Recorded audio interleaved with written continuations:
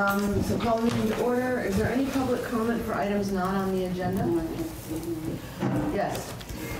Um, Would you like what, to? does that mean I have to go first then, or is that, are you guys like, doing it, like? No, we always, we allow, always allow public comment at the beginning of the meeting, so go right ahead. So, I have like, Introduce yourself. it's called, okay, my name's Tristan Roy, I'm from, uh, East Calais, actually, so, Max Gray Road. Tristan, you Yeah, said? Tristan Joy, yeah.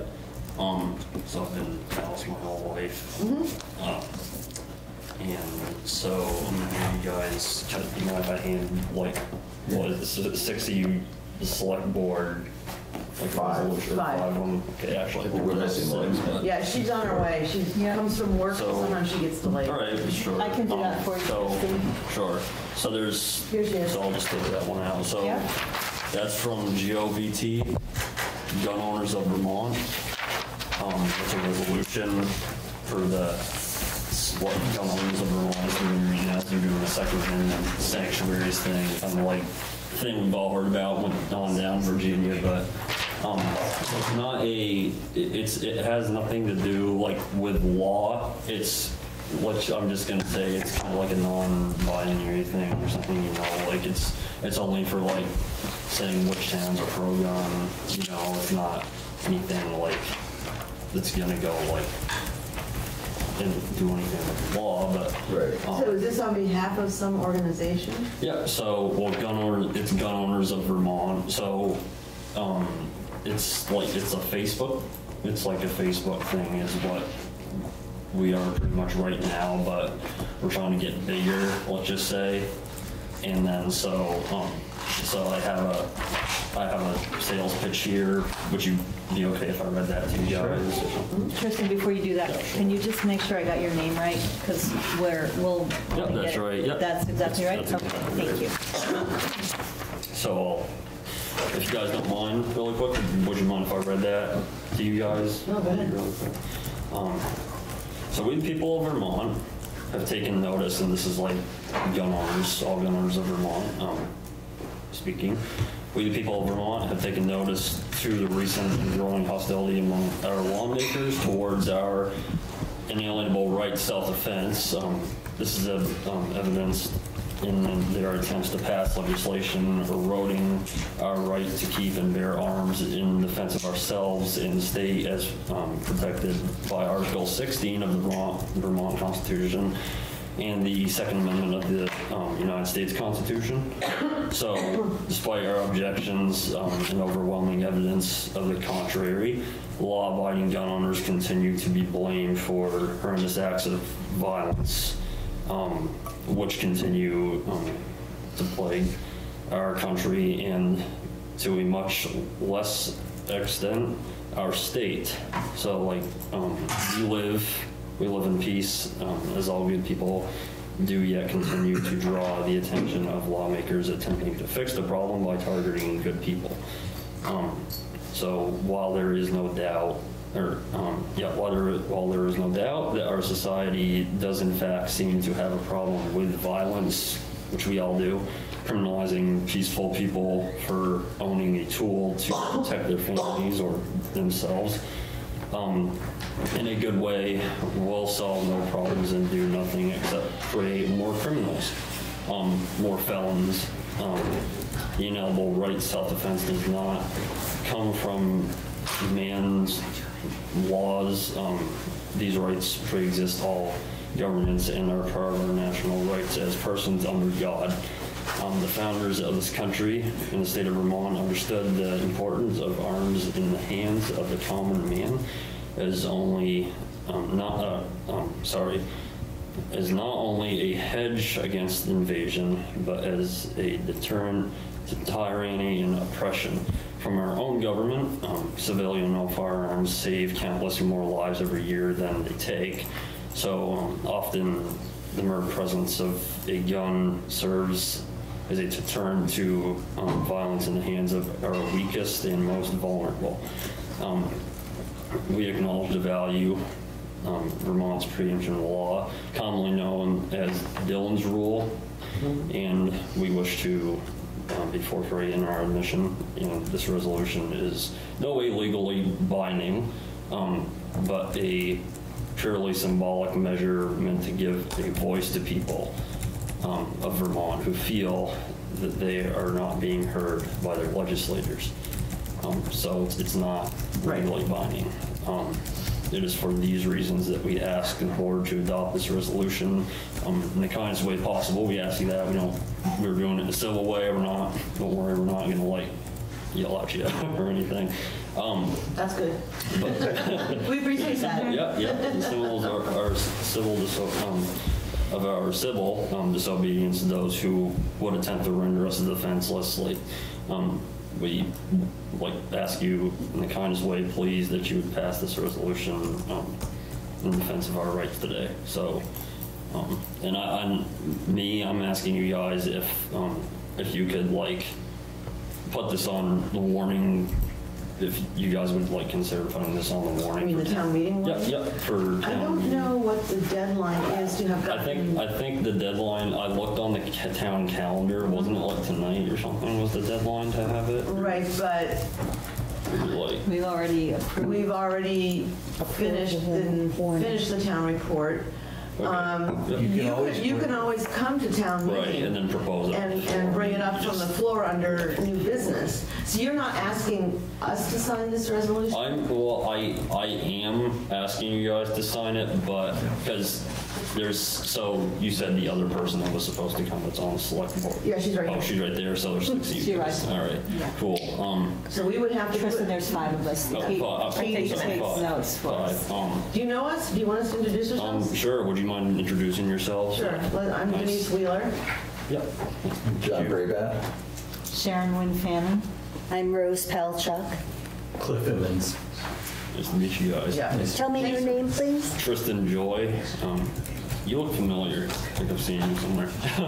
And yeah. Calais. Yeah, probably. There's wanted posters out there, you know. Yeah. Get that a lot. In order, and so the way the process works, in Yep, order for us sure. to sign this, I would have to put it on the select board's next agenda because we have to warn an item Okay. before we can act on it. Right. Right. And Yep. we have it, This so we is can. more something that the townspeople would vote, resolutions Yeah. like this. Right. Right. Right. Yeah. Yeah. But but if if I might, if I could. He's asking us to sign this though, too. would you? I mean, would you guys? Could you? Probably what you just said. Possibly like do that to. We could maybe do that, I could put it on the select board's next agenda. Next Um, But you, like I said, the best thing really to do is the brain is, it's not gonna mean, it would be more meaningful if you brought it to town meeting and it was voted on by the people in attendance at town meeting, up or down. Sure. So that would be my suggestion, and at the end of town meeting, there's always an opportunity for new business, and this is where you could bring that up. Sure. Right. Yeah. Mm-hmm. I, I like that idea, and let me say something about bringing it here for a, a vote. There's only five of us, we haven't had a lot of discussion, and you're the first person you've, we've heard from, Tristan, about it, and I really, I think, um, I really respect you for, for bringing, this is a hard topic. Right, it's a hard topic, and, Very hard. It's a and I know hard you guys may not all agree, so, and I'm not, and I may not agree with you guys either, but. Right, so, so, Okay. Right, but let me, let me finish yeah, my it's thought. fine, sure, yeah. It's, you wouldn't want us to bring it all the way to vote and have it, us vote no. Right. And so my thought is it's premature for us to put it on our meeting Right, agenda fine. and actually have a vote because we haven't heard from a lot of people. It's a really difficult subject and you don't want no. I like the idea of it coming up for discussion at town meeting where lots of people are there and can hear you and, I mean, your heartfelt words and you were so respectful. I think that's powerful. And I think, I think you would probably do better bringing up at town meeting than asking us to vote on it, to sign it as well. The good- the good thing about town meeting, like, for instance, I agree with some aspects of this. Uh, Right, I sure, yeah. own guns, Right, and I don't want to restrict gun use to the point where you're taking them away from people. Right, right. They use them lawfully to hunt and that kind of stuff. And you'll have a good- But, uh, but I don't agree with some of the broad contentions in here. sure. So uh, at town meeting, somebody, you might propose this, and then it could get amended on the floor where it gets narrowed to a, a different sub-theme of this, and that everyone can accept, and And that might be the Calais And position strong on yes. use of guns. And that might get you a lot more support because it'll be in the records of, it'll be in the town meeting minutes that the board, that the townsfolk, the residents, the voters acted on this and this is what they said and it it would might go a lot further than just having us Right. yay or nay it based on what you've got here. Right. Mm-hmm. And we've never talked about this kind of an issue. I appreciate your coming and bringing it to us. I have a lot of respect for what you've done and your willingness to step So forward. come to town meeting and bring your friends, because we also need young people to come to town Right, meeting. yeah. Beyond this. Do you have it on your calendar? Tristan, you know when it is? Yep, or I have the calendar. um, Yes. I go on town, I go on March this town's third. So website. you know, so you know what it is. Yeah. So, So bring, bring this, bring, and I would s- advise you to bring extra copies sure. to hand out. Yep, Um, And we can let the moderator, we'll let the moderator know that this issue is going to come up at the end of town meeting. We can let him know ahead of time. sure. And you can talk to uh, Gus Seelig. I think for somebody who's bringing something to have a conversation is helpful too. Right. Right, right, sure. So that would be, that would actually be your best bet.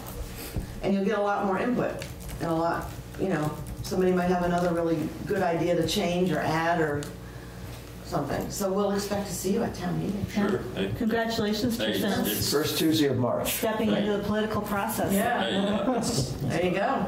it's Good nice for you. to- You wanted to say something? I did, I have a quick question. Do you think it would be helpful if um, what Tristan read was printed on the back of that?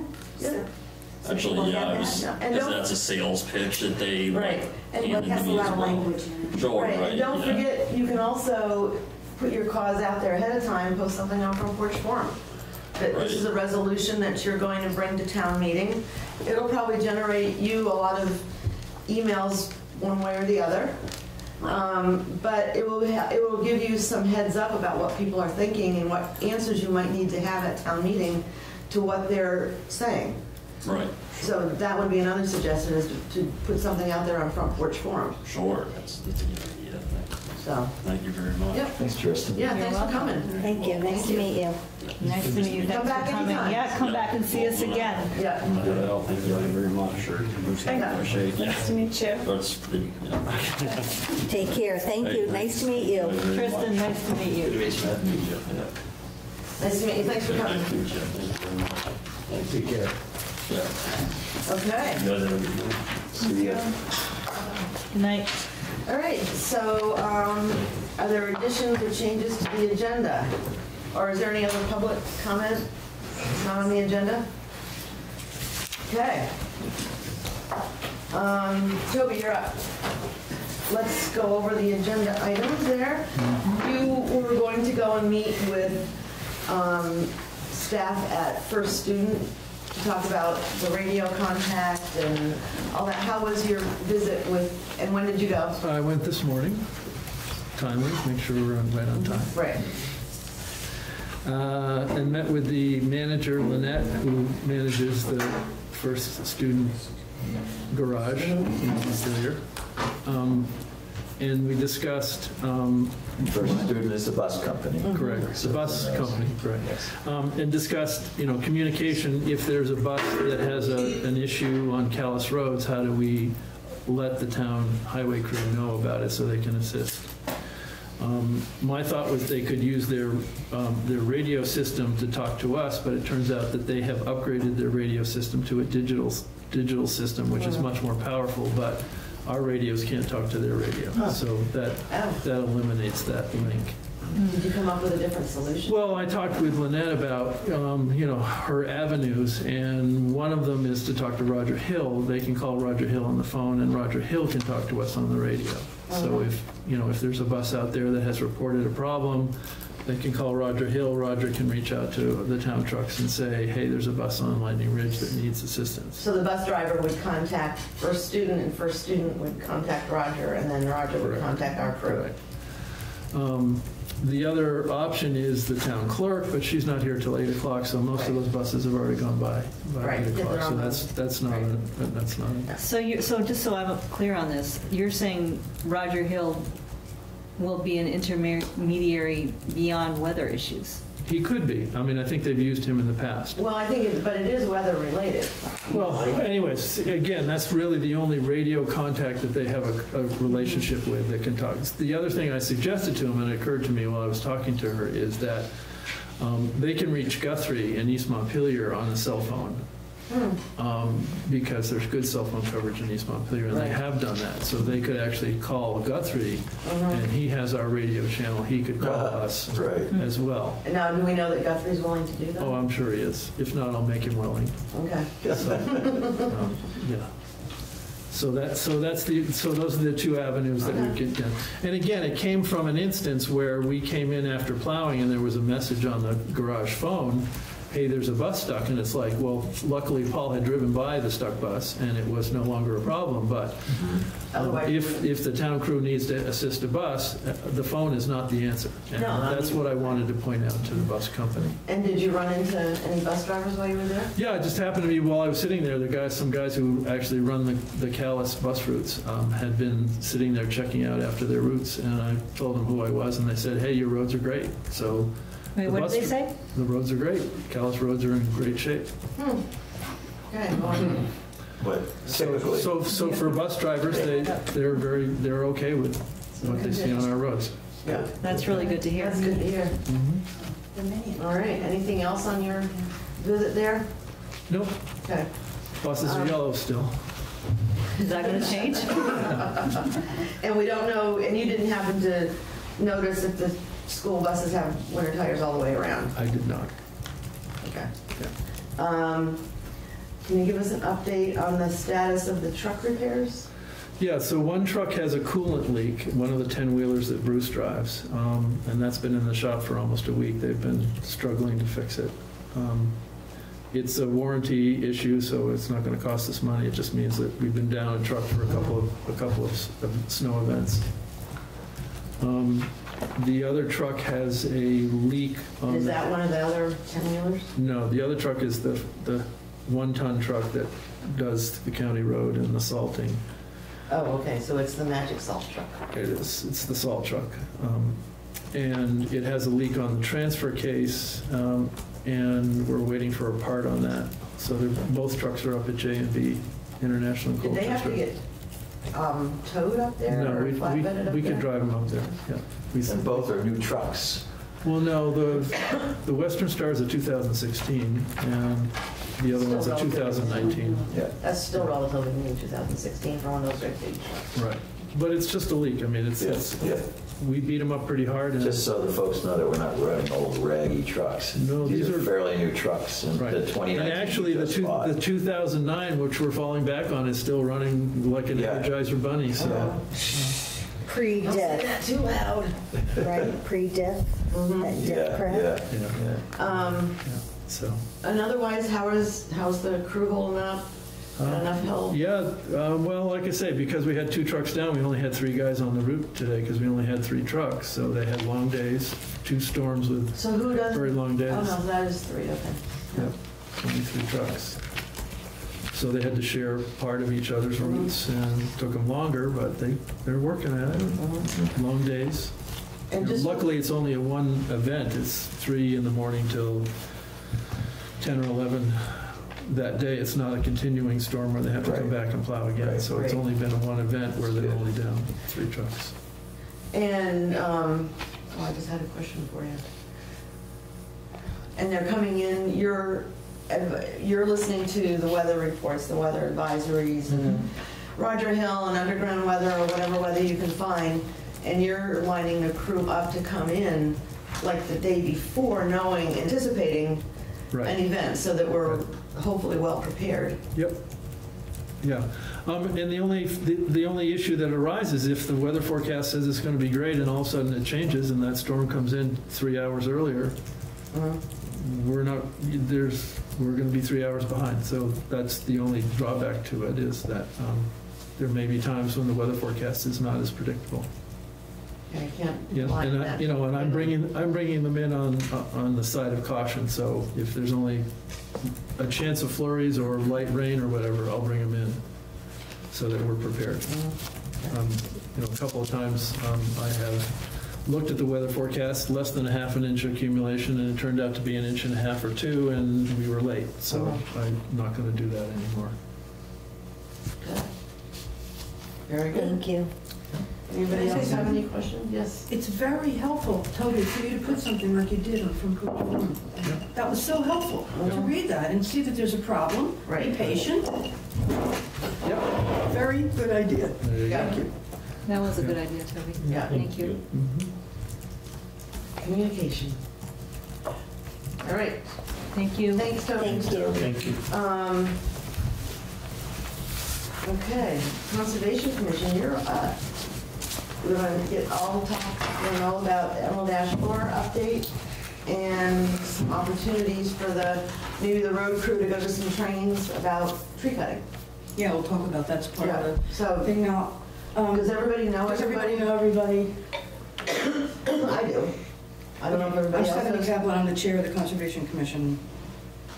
We're six out of seven here. which is Yeah, that's pretty good. It's good. I'm a Yelp maker. Also tree warden, Mhm. And, True Lamb. assistant tree warden. mhm. Larry Bush. Mark Brown. Julie Hand. okay, Okay, so do you need To us my to fellow? Conservation Commission members, I prepared kind of a briefing, but please jump in anytime. I just tried to organize things a little bit. Yeah, I mean, we're a little behind schedule, so. Yeah, we didn't. Tell me to stop anytime. Yeah. So, I, I guess for a very brief review about emerald ash borer, Calais, I don't think has yet, it's not yet been discovered in Calais, but it's all around us. Probably here, we just can't see it yet. Right. Because it takes a little while Don't for say it to manifest itself by killing the trees. So we are considered in what they call a critical area, something like that. So um, we have to prepare. We have to assume that the emerald ash borer is going to be here and it's going to kill most of the trees. And the trees die, um, from what I understand, um, they, it takes them maybe a couple years to die once they've been infested. The the beetles or the larvae go under the bark, and the, somehow the damage they do prevents the water from coming up to feed the tree, so it dries out, and apparently it dries out fairly quickly, which is what makes it dangerous.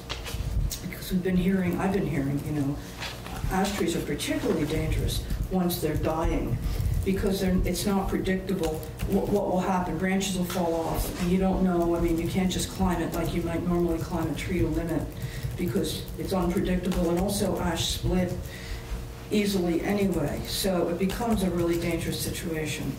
Um, So, um, we've been working for the last few years with this, you know, this group, the Urban and Community Forestry Program. Joanne Garton is the person we've been having a contact with, and they have a website that's just got more information if you want to know on it. Um, They've been really helpful. And last year, we got a grant, we got a $2,000 grant, and we, we used maybe a thousand of it. You know, we did all those publications last year and sent them around to everybody. Um, And um, so then, um, what the, so we're working on a management plan. And the first part of the management plan is to do an inventory of the ash trees. So there was this little app. People were trained and started last spring and went around and, um, and really the, the, the trees were classified as like either hazardous or non-hazardous. Uh, it wasn't too much subtlety in between that. And hazard trees uh, were trees that, as I re- understood it, were either leaning into the road or over a building, um, or even utility lines, I guess, although the utility company. Yeah, But- and just anything that would be a problem if it, when it falls down. So these, and these trees weren't necessarily dead yet, they were just No, no, these are, identified as ones that They're like- if they died, this is what would Exactly. happen. They're going to die, and when they do, are they gonna fall in the road or? so I mean, the latest is that, you know, there might be, you know, 0.1% of the ash trees that won't succumb. Mhm. We have to assume they're all gonna die, we're hoping that they don't all die. That's why, you know, homeowners, people with forests are encouraged to keep at least the smaller ones in order to, in case some of them might live, and then we might have some ash trees. Um, So, uh, it turned out, and then after we did the inventory, after people did the inventory, the Regional Planning Commission uh, mapped it all, all the information, they put it on, map. they put it on maps, so we could see, and apparently, 66 miles of Calais roads were found to have ash trees, and there were a total of 3,297. Wow. That's Yeah. pretty, pretty Yeah. concise. We will. And, Ju- Just in the right of way. You yes, this is Right, just, This is, right, yes. right, this Just is the not on roads. people's Just the private roads, property. right. No, no. 66%, did you say? 60 miles. 66 60 miles. of road. miles, 66 and miles of roads. 3,297 ash trees. And I it doesn't mean- include any of the paved roads, I don't think, you did, we didn't do county road, did we? Certainly We did county road, but not Okay, we didn't 14. do 14, I don't think. Right, because county road, we have some say over what gets cut. Really, V-Trans would, We don't have a Route 14. right, on Route 14. Right, so um, it was, what was interesting was apparently there were no, either none or a minimal amount on the east side. Oh, there are definitely trees over there. Ash trees. Ash trees on But the east Where? side of town. Where's this? Just not as On the many along east the side of town. roads. Not as many along the roads. East No, no, side no, no. is, East Calais. Basically east of uh, 14. okay. Well, Like Lightning Ridge, that area? No, No, Lightning Ridge is this side. Yeah. The other The side other of side. 14. Max Gray, Oh, that's. that's okay. East Hill, Loose Road, Tucker. So there wasn't as many ash trees there? Isn't that interesting? Well, you know, I went around, I went around all the cemeteries with Randy, and you know, there were no ash trees. There were maples. I was so happy. There were maples. They Wow. were ash trees that were providing all the beautiful shade around the um, cemeteries, for the most part. Um, So anyway, we are um, now in the process of developing a management plan. So we have this information, we have know it. We wanted to talk with you, and we wanted to, at some point, we'll have a public meeting, I believe, to solicit public input, but we've been talking about this a lot, and you know, there's not a lot of choice about what to do. Um, There's essentially three options, and these were kind of laid out by everybody. I mean, there's really just three options. And one of them they call preemptive management, and that is that you remove them all, remove all the ash trees um, before they're On the, in the right of way. in the right of way. heavy. Yeah, we're only talking about public right of way. Right. Um, And if possible or appropriate, replace some of them with different tree species. Um, That's, that means that none of them, the public roadways wouldn't have any ash trees now, and who knows where all that money would come from. Yeah. Right. Um, So the That's positive thing is, is that you don't have to then deal with dead ones. because they're already cut. If they're cut now, you don't have to deal with them when they're dead. Right. But And it's they're- kind of a horrifying thought. The kind of rule of thumb is that once they're infested, it costs twice as much to cut them down. So if you have a dangerous ash tree, it's um, a lot more expensive to do. Right, because you have to have a professional come in and, And a lot of the professionals, even the way they would normally cut it, they don't want to do, they don't want to climb a tree that the branches are going to break unpredictably. Mm-hmm. and Right, no, absolutely. Using bucket trucks. yes. When isn't there, like, what, And then what can they do with it if they know it's infested? What Right, can they do with it? right, I mean, does it change their, op- what their options are, just what to do with the wood? Um, not really. Kind of our options are already restricted because it could Because be it's here ash, even if okay. we don't see it because it's ash. But you can still burn it for firewood or. Yeah, as long as you're not moving it too far. Mhm. Although we learned, I I was going to do this later, but I'll tell you now, we met with uh, an arborist, Nate Ebert, who has, in the last few years, moved, he lives in, uh, Coburn Road in Plainfield. Mhm. And Nate is from Minnesota, or he lived in Minnesota where there was emerald ash borer infestation, so he's had a bunch of experience with it. And one of, we met with him in our last meeting, and one of the things he said is that if you've got trees that are not leaning into the road, you, he would say, don't, they're not gonna fall on the road. Right. So they're not gonna cause a hazard. So you don't have to cut them. That's one thing he said. Another thing he said, if they are leaning into the road, you can, uh, somebody who knows what he's doing can cut, cut them so they fall into the road. And then you cut them up in the road. You close the road, you cut them up. So it's not totally as dire and hideous as I made it sound. Because there are some of these other um, things that can be done that would, you know, make it a little bit not so horrible. And there is another option too. I- There were a number of dead trees south of our property, um, actually on Gail Graham's property, um, and they were, you know, dropping limbs and stuff. And so I just took my tractor and I took the bucket and I pushed them just so they leaned away from the road, so when they fell, they'd fall. And it didn't take me that long. Went up and down both sides of the road. Um, So, I mean, that's, the town highway crew doesn't necessarily have to cut the trees down unless it's a monster where you're not going to do Well, that. we're going to talk about that.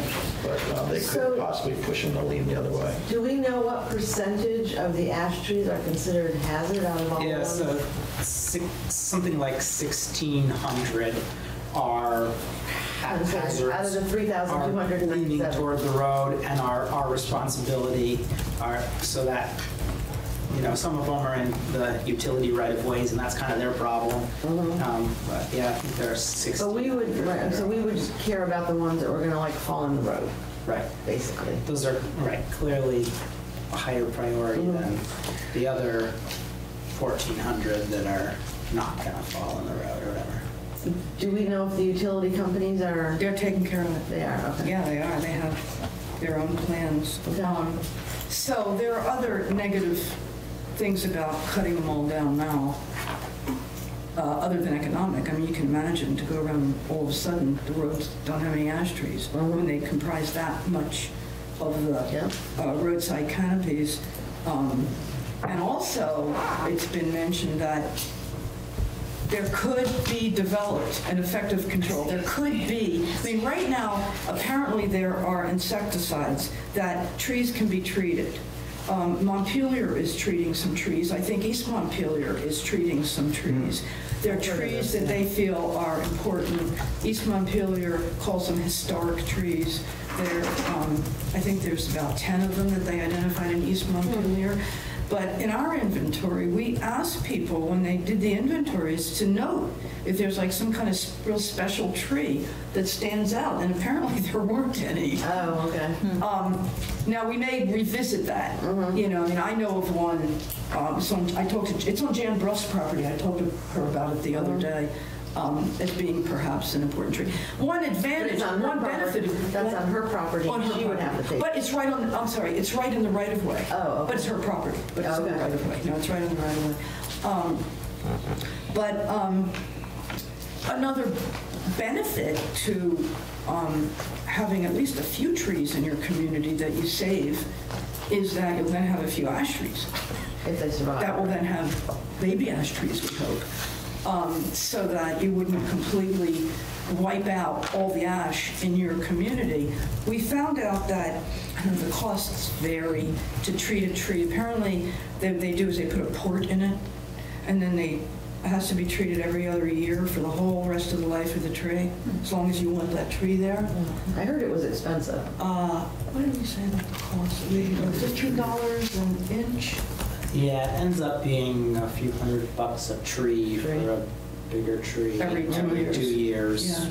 forever.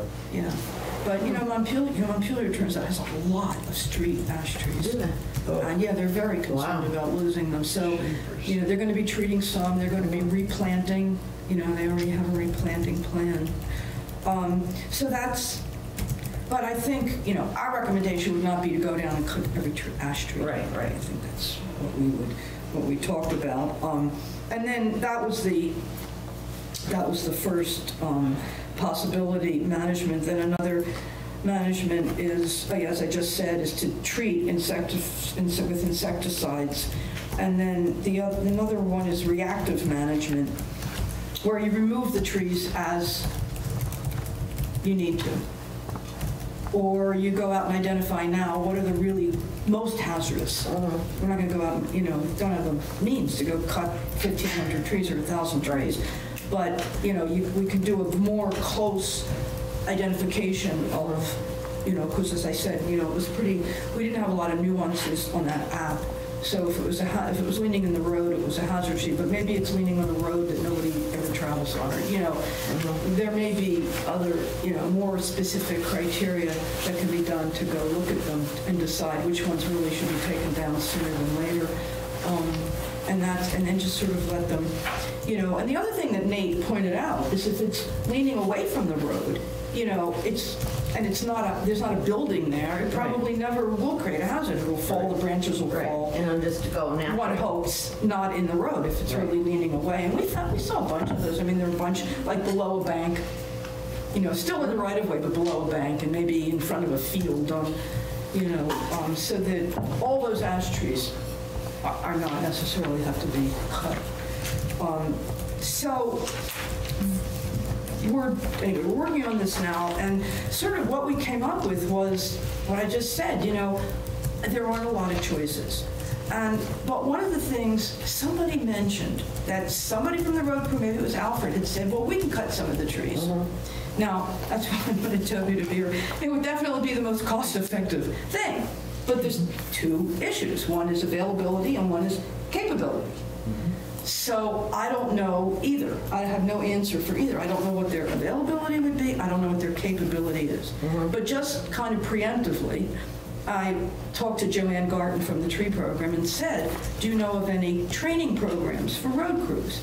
And she sent me to David Birdsell, who lives in Middletown Springs, who runs these programs called uh, Game of Logging.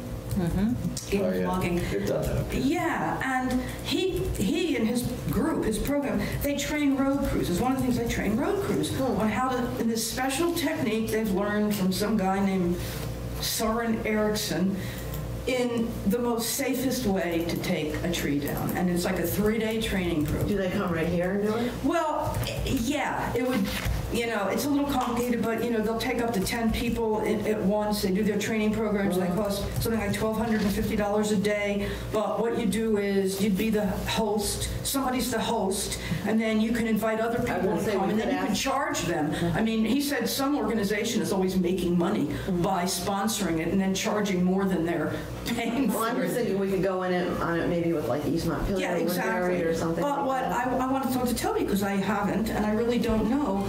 Did any of the crew ever go through this program? Um, I don't know that they have, but, Probably not. you know, Alfie certainly has had a lot of experience in his lifetime taking roadside trees and Which is far more valuable than doing a three-day game of logging. I mean, there's no way in three days of instruction, not that it's not valuable, but you can't become a logger in three days and be, there's just, you just can't do it. Yeah, but what they're doing is they're teaching basic safety techniques. I, I That- appreciate that. That's really but, what it is. I mean, I mean, what is the choice to have them just go out and do it? Well, I mean, I mean, the choice is that the road, I don't know, that they would only be able to take down stuff that was within their capability, within the And- and- limits of what they feel like they've learned. And I wonder if, I think we would have to double check with our um, insurance to see Well, it's how- interesting what this guy told me, Birdsell. He said he also runs a program for loggers, it's called LEAP.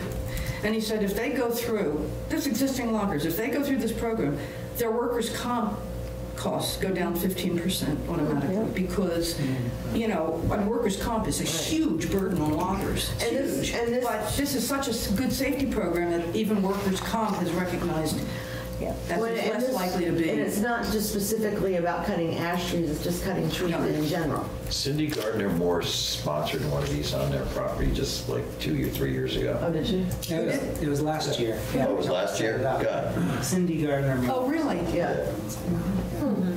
So, Yeah, people I come think it's from. something that we could definitely check into. So, Um, and Alfie's experience is, he knows that some big trees he's just not capable of, and we hire Joe, Joe Bain. Joe Bain to do Yeah. that. And that happens, qu- not quite often, but really large trees. He does have a bucket truck. Right. well, maybe Well, it's- he climbs up like a monkey and Oh, he takes does? everything. Oh, I also want to climb up dead ash trees like a monk. No, but, Yeah, But But if they're some- live, It won't if last you, long. you know, before, Right. if we do the preemptive ones. I mean, it would be worth, I mean, if the, if the road crew were to take it on, uh, this isn't something that happens this winter. It's like, this is a several-year project, so assuming there's some kind of turnover in the road crew over that time, it might be really valuable to think about trying to bring somebody on that has equipment experience, but also logging experience. Because, you know, you go and you shut down a half-mile section of road and, uh, for a, a day or whatever it is, and, you know, somebody that can fell trees can bring down. You, you have the other crew that's chipping and cutting limbs, and we're down, you could do 50 trees in a day. I mean, Yeah. take those most hazardous trees in a section. And so over time, a single Yeah. person that was very experienced could, could take care of the, you know, 500 of the 1,500 that you've identified as being large, hazardous, definitely coming in the road, want to take them down when they're alive. So, I have a question. So I want to just back up, Drew, to what you said about game of logging not being a, um, not being a substitute for logging experience. And I want to make sure that we under, are understanding you clearly. I'm, I'm guessing, but I'm looking for your yes or no. I'm guessing you're not saying that a safety class is a bad idea. Um, In fact, I'm going to, this is what I would say, if the guys are going to be cutting trees with a chainsaw, it's a good idea. Sure. But we shouldn't, we shouldn't put too much reliance on that as the training. On the other hand, don't have them running chainsaws, cutting down trees without some safety. Am am I, am I hearing? That's what I'm saying. I I mean, I just feel like if this is a project, if in the end, the select board decides that this is something that the road crew is really going to take on, and they're going to do all this cutting, you know, many hundreds of trees, mm-hmm. that somebody, there that- that, that a game of logging weekend is, is, maybe falls a little short of mm-hmm. what they might need. Okay. but Alfie comes back and, you know, you. he Yeah. does that, then maybe that's, Well, and the, and the other thing is that you have to understand that even with a crew of four, we have a hard time staying up with road Well, maintenance. yeah, that's really important. So the, the availability of Right. time to take on this additional project, you know, there may be some time in the fall when the roads are not, we're done our dirt work, there may be windows of opportunity there. Um, But, you know, all through the winter and spring and right into summer dirt season. So there's really probably only a month or two a year that they could commit to that, that kind that, of that may be more than enough, you know, that, I mean. If it's, but if. So I have two questions, I have two, I have a question and a thought. Sending the crew to a training, I, it might be really good for, for them, for their, not self-esteem, but the value that they can bring back to the town with what they learn. It's an investment, uh, to send somebody to a training like that, it's an investment, and they might feel really good that we would take the time and and the money to send them to that training, just thinking of it from a personnel kind of outlook. Second, how, I mean, if, how long would it take maybe to just go and identify the 100 or the 50 most hazard-prone trees? How long would it take to, to do that, so we would have an idea of how much crew time it was going to take to remove these 100 trees? Do you know what I'm saying? Yeah, that's like the first step. That's, right. I mean, I don't think it would take that long. And that would be an important question to answer before. So we made any Taking our map and driving around. Right, so you guys could go and do that, and you could identify them with a big orange X that we hopefully will. Flag. A flag. Yeah. Right, yeah, we get a lot of phone calls when people put orange X's on trees. Um, Even if That might be, that might be the first start. We don't know if we can have the crew do it time-wise because we don't know how many. So a first step might be to, how many? So we can talk with Toby and Alfred about what time is there available to do this. My instinct is that it's going to be, that it's not going to be clear like, ah, these are the 50, we're good, but that it's kind of more like, uh, yeah, we can find priorities, but, Right. you know, a eight-inch tree that's leaning over the road is not going to be a priority, but it's still a hazard. It'd still really hurt you if it fell on you. Mhm, or your car. Um, So there's kind of gradients, you know, so. Right, because that might help us determine whether or not the crew really has time to do it. The And if other they're not, and if they're not dead, then it's no different than cutting any other tree that they do on the roadside in normal maintenance, right? Because it's not a hazard yet, because it's not dead and we're gonna fall apart. That makes Well, sense, actually, yeah. there's an interesting, it raises an interesting question, because as you know, the way the statute works, as far as taking trees down, if they're hazard trees, then they can be taken down. But um, if they are not hazard trees, there has to be a public hearing. Even if they're. If they are ornamental shade trees. Wait a minute. That- Wait a minute. It's not been inter, it's been interpreted differently by different towns. Right. And the way this town has interpreted it, as well as other towns, is that public trees are all shade, all shade trees, because it hasn't been defined, and we don't have an ordinance. And that's what the case law says. A few towns have lost ca- case, cases in the courts because they But could we, said that, in the court right, so, but we could identify. Let me finish what I'm, this Okay. thought, so that it, we understand, we've been told that, I believe, that unless it's actually infested, the tree can't be considered a hazard tree. So what Right. East Montpelier is doing. Even the ash trees? you mean? Even ash trees, unless they're infested. So what East Montpelier is doing right now is they identified, you may have seen if you go up to U32, they identified a row of ash trees along Gallison Hill Road, and they've tagged them. They've been tagged for a while, and they want the public to see them. And then they're going to be taking them down. They had a hearing. They had to have a public hearing, mm-hmm. and they had the hearing. And nobody objected, but they had a hearing. They notified the adjoiners. They followed that process, mm-hmm. and they had their hearing. So why wouldn't we do the same thing? Well, we would have to do the same thing, that's all I'm we saying. could do it, we could identify those 50 trees and have one hearing. Right, I was saying, why we do the whole thing and that have would one be- they'd be? Ready to go for the next two Right, years or okay. whatever, I think. That would make sense to me to do, to do that. The other thing is, is that there's some towns anticipating having to spend a lot of money over some period of time, are, are starting to set up funds. Yeah. So they're putting a certain amount of money away each year. Is there any grants available for one to, to do this? Is there any grants available to do the save these five trees and we're gonna put ports in them and give them medicine? Is there any grants for any Not that we know of right now. Hmm. Okay, not that we know of. Um, There is that $15,000 grant put aside. Yeah, there was a, there was a grant that you had to match, you know, as a match. Yeah, it was a $15,000 matching grant, we didn't We didn't, we decided not to pursue it. East Montpelier is pursuing it, Yeah. like four, three of them or something Yeah. statewide. So, you know, and who knows? I mean, there may be grants in the future, but right now, there's no grants to treat trees or to cut them down. Um, So what do you want from the board tonight? Just kind of to give us an update, get our feedback, come up with a proposal? Can you guys come up with a proposal and, you know, this, you know. Well, it was helpful to learn the availability, which is not high, but Right. is possible for some of the year. I mean, maybe, we're meeting on February 5th. Because I wonder if you could come up with, like I said, the hun- the hundred, Yeah. maybe hazard, well, maybe not even hazard trees, but the hundred trees that need to be cut It's the first priority. as the first priority, you know, and if they're not, like I said, if they're not dead, but then we have to have a hearing, and then maybe there's a list of the hazard trees that could just be cut, and how many of them are there and where are they, kind of thing. I'm just thinking out loud, I don't really know. Would it be necessary to, just wondering if, you know, somebody flags a bunch of ash trees in front of my driveway, if that's gonna make me wonder what the hell's going on. I, I mean, Well, you before heard what we- they're doing.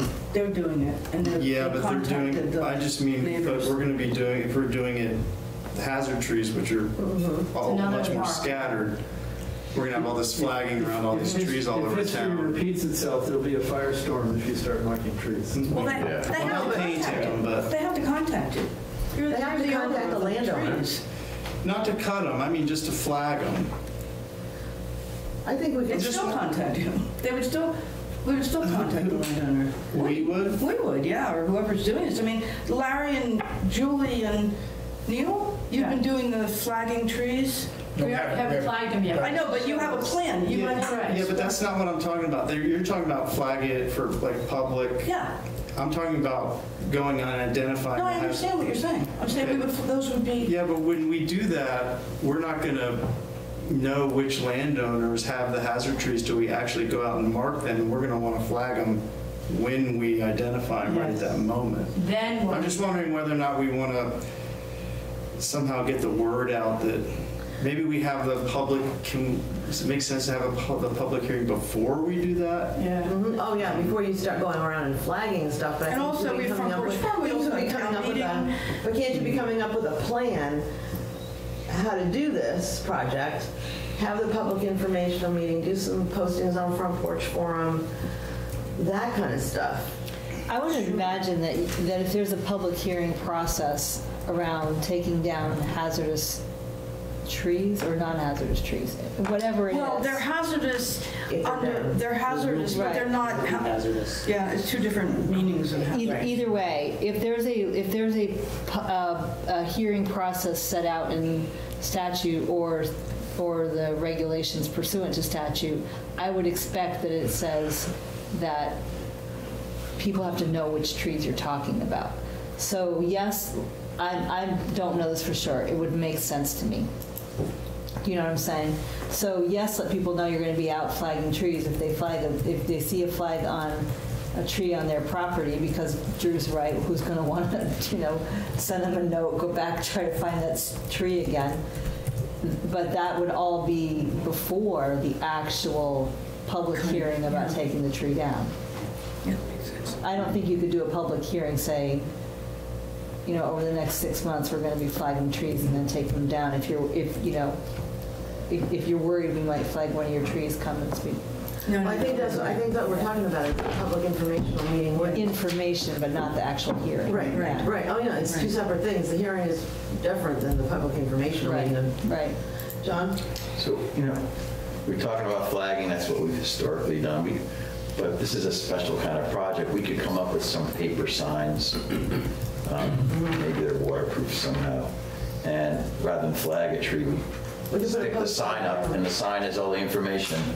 This tree has been marked for the following reasons. If this is your property, call this number, but we will be reaching out to property owners as well in the coming Kind of like months. a, kind of like a post. And so they know what, that's the flag, that's the identifier, and then there's information that goes along with it. That's a great idea. Maybe, Yeah, maybe it's idea. some, maybe we tied a ribbon around it, but there's like a little pendant that hangs down, and it's a little index card yeah. size information thing, so that the You could do, you could do them almost like the no trespassing or posting Yeah. signs, right? They're working on Yes. something right now, and a slightly different thing, but what they're doing, and I'll let them explain it, the purpose is, um, is to bring some more public awareness. So they've identified areas, three, on three well-traveled road encounters, and they're going to be, go ahead.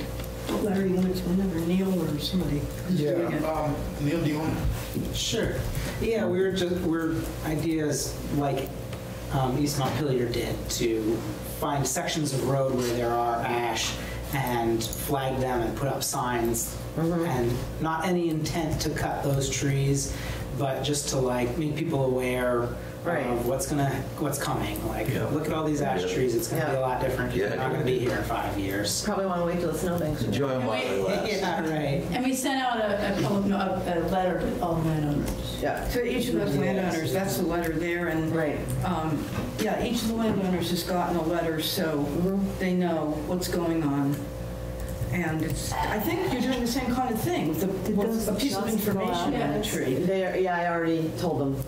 It just went out? It already went out. No, it's fine. I'm just, I got two pieces of mail from the town of Calais today, and now I know why. Mm. I didn't open them. Are you on that list? Must be. I don't think so. I don't think so. No. You got two other letters. It's a lot of nice ash trees on Tucker Road, though. But not a lot of Tell you what, traffic. Especially towards Lightning Ridge. So, yeah, it was what? I did that. Yeah, there are three, three areas. You get one? Lightning Ridge Road I don't open from mail. Advent Road to Have it. Pat Johnson's. Did I house, get one? Where that is. Yeah. You're on the list. Um, I'll look for it. North Calais Road from just right up here to Dugar Brook. And then West County Road from uh, just above where the Maysville's property is. Actually starts with uh, Judy Copa and Eric Goldberg. Down to, what is it, Neil? How far down? Down to Randall, not- down to North Curtis Pond Road is the maximum area. We- Really? You know, we could, you know, we don't, it was just for demonstration purposes, so we don't have to do the whole thing, but we were looking for areas That with well high traffic yeah. that had enough of a, of a, of a collection of ash trees that, you know, it would make an impact if you saw them with like green ribbons around them. Right. And we also, um, as I s- said in the email I sent to to you guys. Yeah, and I forwarded it to the that, board. that uh, we were trying to, we tried to find a place in East Calais on the other side of 14, but we looked and we looked and we looked, and we couldn't find any place that had the kind of collection of ash trees similar to the ones in the other three places we found. Lucky them. Wow, yeah. And then finally, as I said, we still have some grant money left. We have to use it up by the end of March. So maybe we could use that to make some posters. Well, we were talking about that and also um, um, planting, maybe doing a little planting. The planting new trees doesn't have to be to replace ash trees. We When could do planting in public places. Before end of March. When, so money has to be used up before the end of March? Buy them, Because I free buy wonder, trees. We can buy so them we and can't use them in the that money spring. to use it on a training? Yeah, we could do that, except that we have to do it by the end of March. And there's no way to get an extension? I don't think so. No, no, no, no, there's no extension on this grant, no. Oh. We have to use the money. So, I don't know, I, I just have this idea, but that, because I was up at the East Hill Tree Farm this fall um, with Nico, and he's got some chestnut trees up there.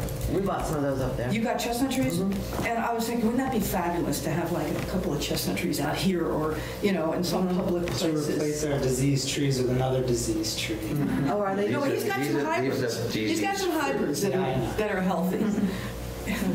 So could we, so we could buy the, we could buy the um, trees in March? Yeah, yeah, that's the idea, is to buy the trees before the end of March. Yeah. But also, I was talking to you a few weeks ago or last week about it, you were saying we should have more handouts at town meeting Yeah, we should. again. Yeah. So, you know, we'll use, we'll have to use some money for printing costs again. We're not gonna, and- and is there- we're not gonna send them out to everybody Right, and this it's a time. picture, you know, to show like if, this is what the inside guts of the tree will look like when the borer takes over. And why it kills it, you know? I didn't know it was because it didn't get water. I didn't know why it did. but- So, so, so in other areas of the country that have already experienced the the infestation of the emerald ash borer, have they seen these bugs jump tree species once they run out of that food supply? Other ash trees. Have you heard that? Other a- Other ash trees. Nothing So they, besides they like one, they like a black ash and then they'll go to a different ash? I guess the, the, the worst are the brown and black, right? And then there's a small amount of re- resistance in the white and green, isn't that right? Yeah. But, but And there were very so many different kinds of ash trees. Essentially, 100% of the ash trees are going to die. So, Virtually, but- virtually Okay, so they're not jumping to maples or oaks? So or- can they take some seedlings from a place that doesn't have Well, this, they- this and put them in some s- vault Cry- somewhere? cryo- Save, cryo save them freezing, somewhere? whatever, Yeah, we have, there's, there's like the seeds are protected. The seed, There will still be the ash. seed hideout, 200 years or They have seed whatever. banks. seed banks. But hmm. Plus, who knows what's going on on people's private properties? I mean, Right, you right. know, There'll be some. Don't be There'll be Yeah, some. yeah. I would That'll survive there'll be you? Some, and mm-hmm. also what Nate said is, he said, you know, you can chip them, and you can move them once you chip them. He mm-hmm. said, you know, he even 'Cause that cuts suggested the- having a processing, a community processing area with a chipper, you know, and people cut their ash or the whoever. Why does chipping them? He said it kills, he said it kills the larvae and the It beetles. makes, it, it cuts them into small enough pieces that the wood dries out and the beetles can't live in the wood anymore. Because they need So that It moisture. doesn't necessarily kill the beetles, but they leave. Oh. And then when you transport the chips, you know that there hmm. aren't beetles in that wood chip because it's just not a place they hmm. could survive. How long do the chips have to sit before they leave is my question. I don't know. Because, uh, you know, I I have chipping done on my property, they run the whole tree right through it, wah, and then that truck's out of there heading to, I don't know, but the, you know, the state, To the BED. state did all their regulatory stuff and put together guidelines and stuff, and, and they hmm. were, they said that that's fine, like, yeah, chip plants all over the state are getting chips from wherever, and as long as they're chipped. A chipper is something that arborists too strongly recommended if the road crew were to tackle. yeah, we're, the we're problem. looking to get Yeah, one. wait, Anyway, there's a right? warrant, uh, there's Which gonna be an remember item from on the Years warning. ago, we've been talking about getting a chipper. Yeah, we're doing it this year. It's It's doing on it the- again. Okay. It's on the Well, this, warning. that's It's on the definitely warning, fodder getting for. it. Well, for when support we, for when that article comes up on the floor, I mean, this is a perfect example of why it would be important to support to purchase. He, he described it, and it makes sense that it would make that job immensely more mm-hmm. efficient to have a chipper. Yeah. That's actually a really good point. If somebody would make a note when it comes up. Right. The, the emerald ash borer issue is a new one. For, to support the chipper. Yeah, I mean, what's a chipper cost? Fifteen thousand dollars? No, no, not for an industrial. I'm looking at a used, at used ones that are like 25 to 30. Still, it would pay itself off fast when you think how much it, Yeah. you know, So I costs to hate to hire cut arborists. this, I hate to cut this short, but we have CVRPC people waiting to talk to us as well. Okay, well, what we'll do is, um, two things. We'll come up with some, I guess, a proposal to give you. And then also, we have to develop another handout For town for meeting. the, for town meeting, and these are all good ideas to, Yeah. things to put in it. And I, another thing, it's not something unique, but it has to do with landowners and what can they do? They can sell their trees to lumber, to lumber yards. Right. What can private landowners do with their ash? Can you maybe just uh, talk about that at your meeting? Yeah. Okay. Yeah. Thank you, guys. Thank you guys very much. Thank you. Great information. Good to see you all. Appreciate your work. Thank you. Thank you. Thanks for counting the trees. Three, how many trees? you said? 3,297. That's one of the ones we found. We didn't do every single road. We didn't do all the roads. We did 66. There's more. I think there were 90. There are more. Now we're gonna do the maples, just because we're bored. Yeah, we have this little app, this cute little app to do maples. We'll deal with that. That's our cleanup. Thank you guys. Dried out. Keep us posted. Let us know if you need anything.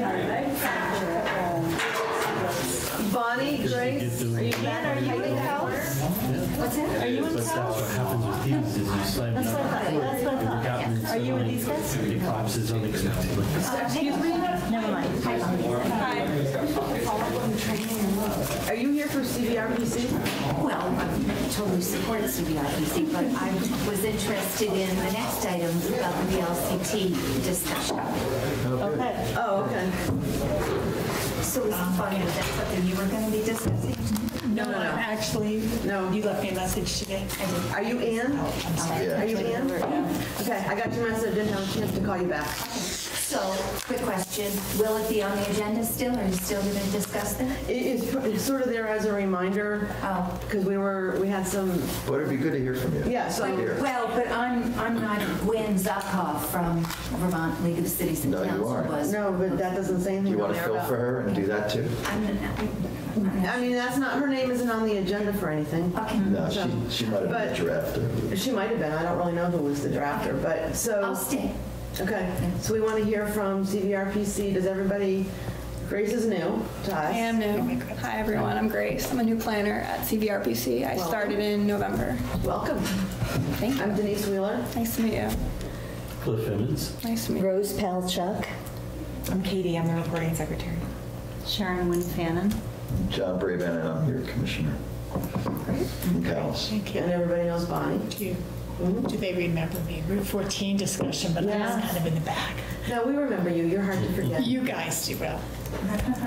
I'm not sure I, hmm, I'll have to think have to think about that one. Send me an email. I'll have to think about that one, okay.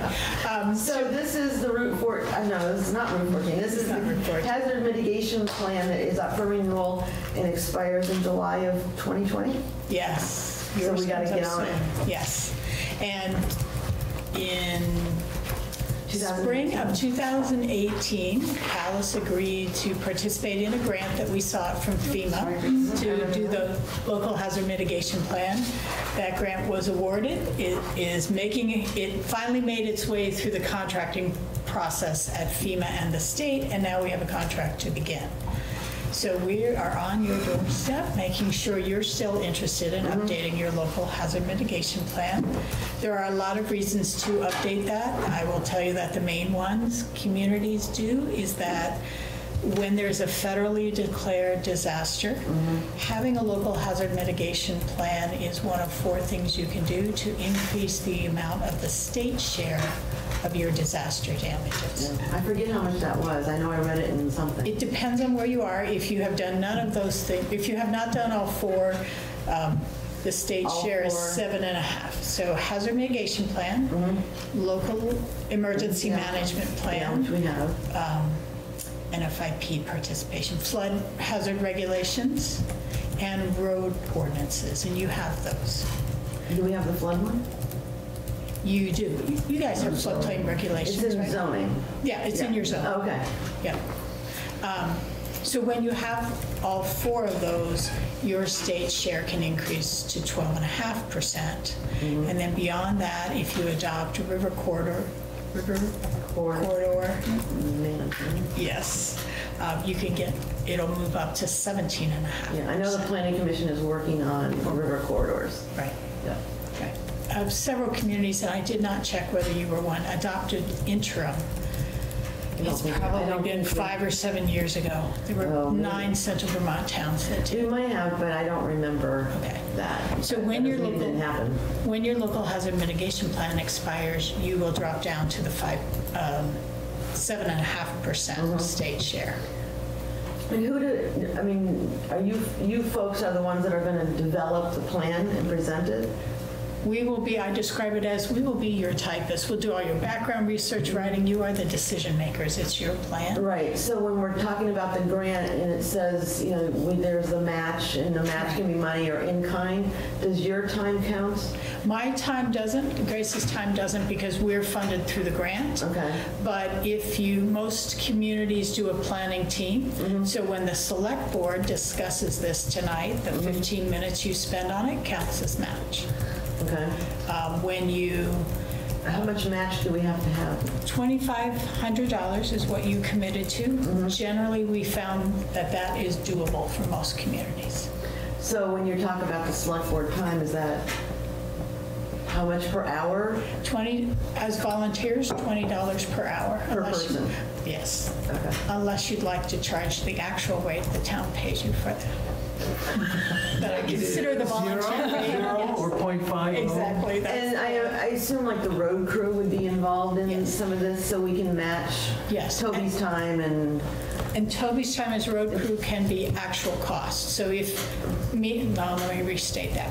His wages, if you document on town letterhead, the, um, the actual wage rate, mm-hmm. you can use that for his. And so- That's not going to go far either, Toby. But it, you'd be surprised how quickly it adds for up. $2,500, it adds up quick. Yeah. Yeah. We tried to take and look at what do Well, communities we made generally it, we, we average. did okay the last time. Mm-hmm. Yeah. There was no issue. Who is the planning committee? I think, well, that's what we have to decide. Okay, so we don't have, it's not like, oh, it's this group or it's that No, group. we can It's appoint ad whoever we hoc. want, right. Okay.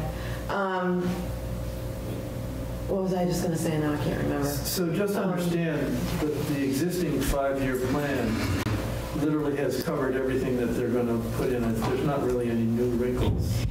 The only new wrinkle is that um, the requirements for the plan have not changed from FEMA.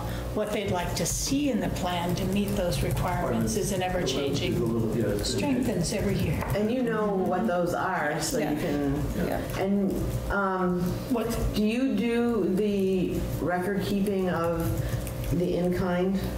We ask on the back of the memorandum of agreement was this lovely form. Mm-hmm. You need to record when you did things, mm-hmm. and then if you give us these sheets, we will do the full tally for So like the select board, Right. when we have a meeting and we talk about this, we can make a note. Mm-hmm.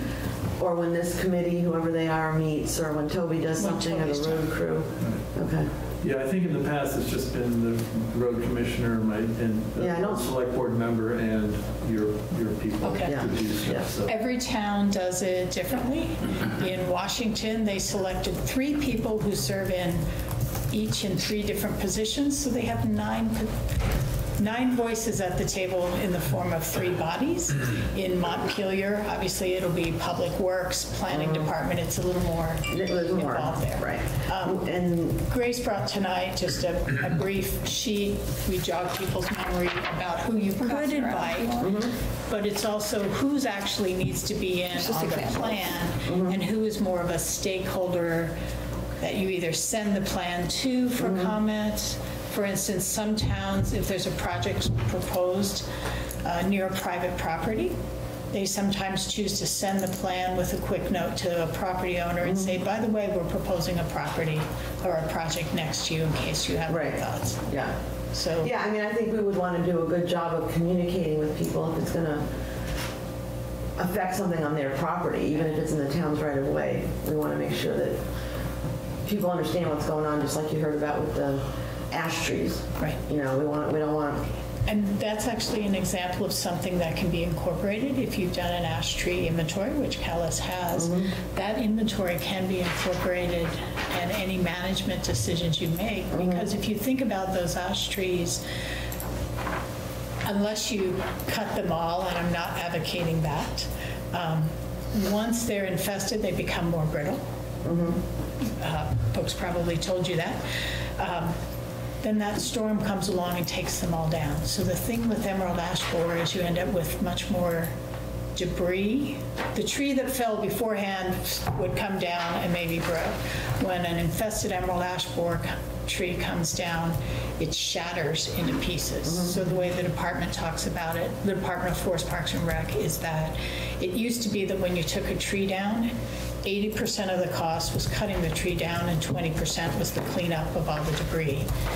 Once a tree is infested with emerald ash borer, that equation shifts.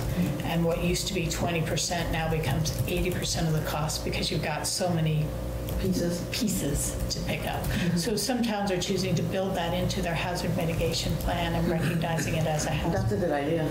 But the tree's not any cheaper to cut down. The trees, no, actually. No, the but if trees we will- had, but if we had a big storm and that was written into the plan, for the cleanup, we might be able to get some reimbursement. I mean, debris cleanup is always, Yeah, it's, is always eligible. Okay. yeah, we had a big So- winter storm and we spent two days cleaning up and I think I got nine thousand dollars. So if we had a big storm and it downed a lot of ash trees that hadn't been identified as hazard but came down, It There's- doesn't- there's no- so there's no- so there's no way It's to- not species Independent of, Yeah, I'm it's, just trying to think if there was some way to get some money to do this training and, Right. can you, can you leave that? Yes. Grace? FEMA has not quite recognized it as a hazard yet. That's one of the reasons we're talking to towns about putting it in. The Department of Forest Parks and Rec and VEM have talked to FEMA and said, look, we can see this big bill oh, coming. And FEMA said, that's great, but when you're talking about many of their grants, you have to show a record of repetitive damage. Your trees haven't come down yet. You can show debris damage, mm-hmm. but not specific to this issue. And, So right, and so if you two identify it as an opportunity to have it so that they're not paying for damage after the event, but helping to fund things before something happens. I think you'll have to That's see not gonna an ash tree disaster and then realize that that's something they need to have a mitigation plan to take care of ahead of it the next time. I mean, they're always behind the disaster. Right, and that's, so that's why we suggest you build it into your Right. plan. The grant might not be there today, So you'll build that in, mm-hmm. or you, Okay. but yes. yes. Our typist We will have your, build, our yes, typist will your build that. typist will build that in. We'll fill that in. And then the other, we usually build that in under invasive species. Mm-hmm. So some communities have identified invasive species from an agricultural perspective, mm-hmm. chervil, things like that. Um, we're, we're really big into that oh. now too. Okay, So you mm-hmm. can, um, you can, We're loaded with it. yeah, good for you. chervil and wild, wild parsnip and Yep. we got a whole big education on that. There we go. Peter Harvey should be on this committee. we're just going to evacuate the whole bloody town, get out of here, and leave it to Just nature. light it So- on fire and walk away, just like Australia. So does anybody else have any comments or questions? What do you need from us first? We, first, two, two first steps, we were hoping that if you had any comments on the MOA, we could uh, talk about those tonight. If not, we're hoping you will choose to authorize someone to sign it. Um, And then the second one is not necessarily for tonight, but we need a planning team to work with. Okay, that's something we can do at a future meeting. But what's the Contact. deadline? Your deadline is when your plan expires. I mean, if the Which is plan. July. So, I mean, I guess when will you have something to us to, to look at, that we need this committee to review prior to July 20th, and then the select board, I assume, has to Right. sign but- off on the plan. So two things, we need a committee to work with to do our work. Right, but, So Yeah. usually our next step, after we leave here, we're all good, you give us a planning team, is to meet with that planning team. Okay. Kind of run through process steps, what they can do, what we can do. um, To the extent possible. So we have developed, I'll call it a template for hazard mitigation plans. Um, We know that FEMA will approve it mm-hmm. in that form, given the level of information that's in there. Mm-hmm. Uh, Grace will go off and research your disaster history, background data. Yeah. But the planning team needs to do a number of things. And so we generally meet with them so they can start work and they can meet without us. Mm-hmm. okay. So tonight, we need to sign the- the form. I'm, what do board members, are you in favor of having this project? Um, have Our help with, their help with us with this, revising our hazard mitigation plan? And I looked at our old one, and it's, Yeah, you probably didn't, I don't know what you had before. We've started, um, when there's match involved, we've, we've started doing s- some agreements with towns because a few towns have not met their match. And Right. we're, we're on the hook for that So does this anticipate that we all sign or just that one of us sign? Just one of you. Okay, so, Yeah. all right, I make the motion that uh, we authorize Denise to approve the MOA with the Central Vermont Regional Planning Commission related to our, updating our local hazard mitigation plan. is there a second? Second. All right, is there any further discussion, comments, questions? All right, all those in favor, please say aye. Aye. Any opposed? Hearing none, motion carries. Um, So s- you will contribute 7,477. Um, Yes, Our share is the 2,500, which is the in cash or in kind. right. I already asked you about that, and we've met that criteria before. Through the So- planning process. Yes, through the planning process, you should be able to Yeah, okay.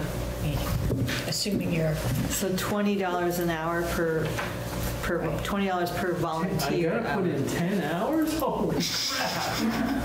That'll be like done in a you're going to heartbeat, tell us Toby. what you've done on past projects. You're- yeah. You can do people.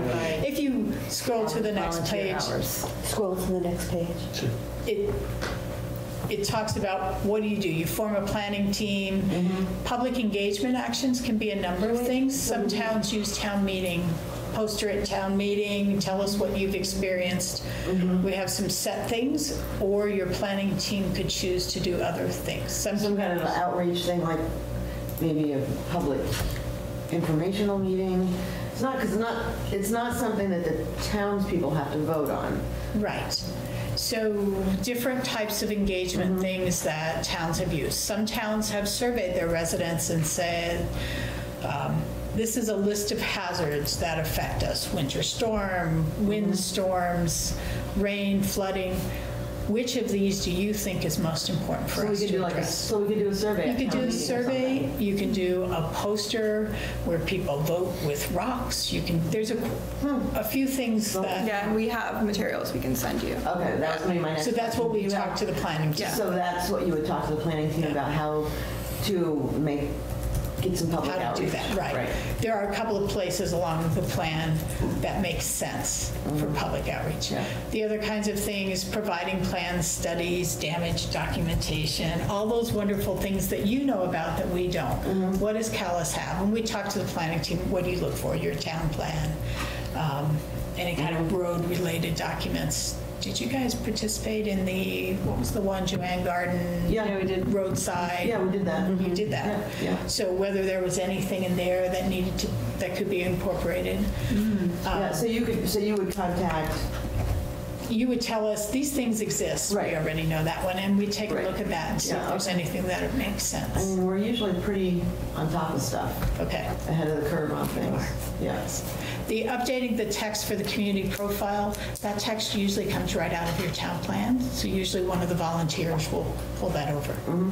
Uh, There is, in the last plan, you had a plan of action. So one of the volunteers takes that and says, um, here's the status, completed, no longer a priority, uh, And you in know- progress. And when there is an event, oftentimes I'll get a call from somebody at CVRP, even on a Saturday afternoon. Did you, I mean, I- that's, you guys are the best. Um, Saying, did you experience any damage? Is that something that gets assessed by this hazard mitigation plan? I know it's the LEO, is, L- is it still LEOP? Is there, is there a new? It's now LEMP. LEMP. For a couple of years. So what we do, what Grace will do, is she will look up the disasters online, hopefully that either affected Calais mm-hmm. or at least affected Washington County if it was countywide. But we'll also ask you what kind of documentation you have of past damages. Mm-hmm. Yeah, I mean, we, I think we have a pretty good Frequently record of flooded that. roads, things like Because anything that we've had to account for and get reimbursed or ask for reimbursement, I think Alfred or Toby has kept a, a list. Right, and even if it's not a FEMA level event, you know, if it's something that happened locally, only Calais got hit with. Like when the Adamant Dam Like broke. when the Adamant Dam broke, yes, something like that. Some of those Uh, windstorms we had a few years ago. Right, Right, right, where there was like one section of town that got annihilated, like my road. right. And then the next one is an evaluation process for plan maintenance, which sounds very formal. Yeah, what does that mean? It just means, how are you going to update it along the way or next time if you want to make changes? You're Does that mean you're going to have a select board meeting? Some communities said once a year, we're going to look at it and see if our list of projects changed. Um, So again, pretty standard language. We talked to you about what makes sense for Calais. Um, And then they would also like to see this plan incorporated into other plans. So the next time you update the municipal plan, this plan has a lot. town plan? ta- Sorry, town plan. You say town. plan. Incorporated by reference, or? You can incorporate by reference, but you know how your town plan has a flood resilience section? Well, guess what? This plan, this hazard mitigation plan talks about flooding. You want to make sure that the two speak, Match. speak to each other. Yeah, yeah. Yeah, I mean, one's always a little bit ahead of the other one. Right, right. so. And then hold a required public hearing. FEMA doesn't actually require that anymore, but we leave that in there in case they change their mind. Okay. It just comes to So the we could select just, so board we could just and you make it adopt as it part at of a the, meeting. the select board meeting, public wants to come and ask questions or look at the doc, I mean, that, Yeah, it's that's all pretty we really simple. have to do. So it's pretty simple. Right. By the time you get to adoption, it's already been to the select board once or twice. Right, right. So, Yeah, because I mean, the select board will want to get updated from, you know, some status to make sure we meet the the deadline and meet the, the goals of this, especially the in-kind. so when you talk about deadline, I'm guessing you mean your deadline of um, when your plan expires. Right. So the way we work this is it usually, most communities take a year to 18 months to Oh. update the plan. That's why we applied two years ago. Um, We've been doing them in six months to a year. We've done them as fast as six weeks when mm-hmm. towns are about to lose a FEMA grant. They have to keep their plan active.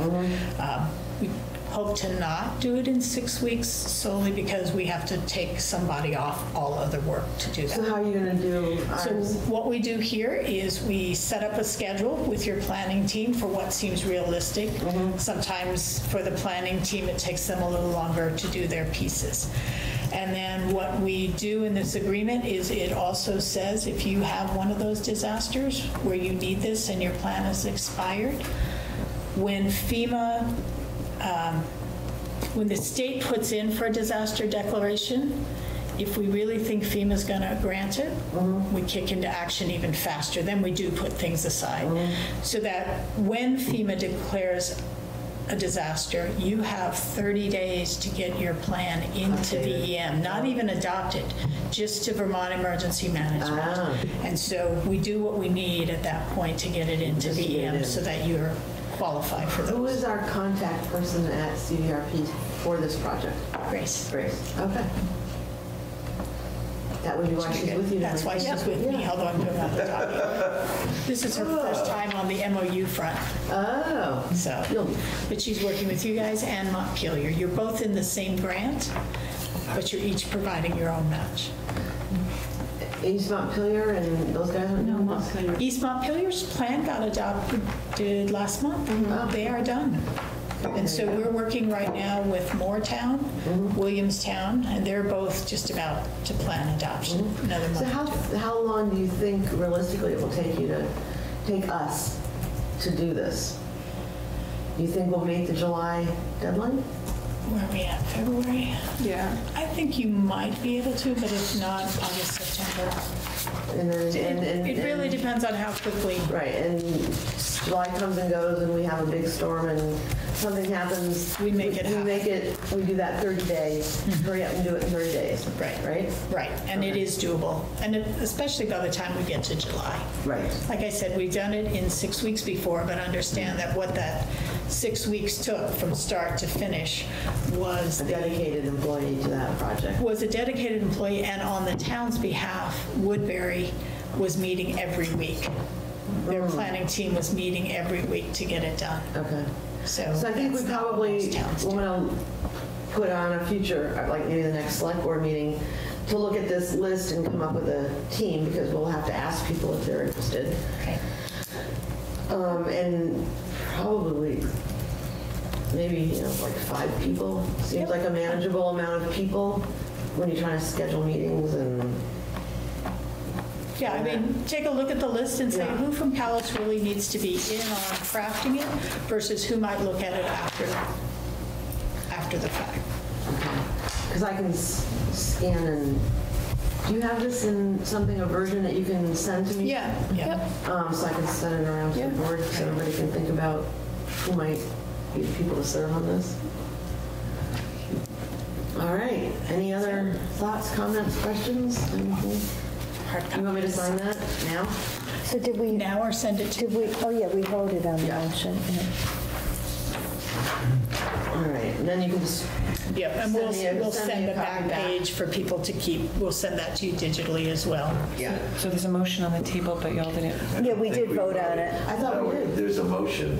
Oh, a oh, motion. We've for me been, to we've second. been going on. Sharon But a I motion. remember you All those said, in favor? No, I I thought I did, yeah, she did say it. I did say it. Yeah, because I, yeah. Yeah, um, I just voted again. I was again, thinking the same thing as Dave. just in case. no, it must have been noisy. Yeah, I thought, Yeah, no, Cliff seconded it and yeah. I Denise said that. further discussion and we said And then I thought this was the further, this, no, it doesn't matter, it's all signed. Voted on twice. okay. Thank you. Thank you. Nice to meet you, Nice to Grace. meet you. Okay, did someone write down five, six people, 15 minutes? Oh yeah, we get to count Now, this. Somebody's gonna be the bookkeeper. or work this Katie, out. So I'll the send- board noted that counting Toby, who Yes. sat through the whole thing, we had one, two, three, four, Six five, people, uh, five volunteers. no, six. Well, and Toby, paid Well, staff. Toby's paid staff, but uh, six but, people. but $20 an hour is probably good for, yeah.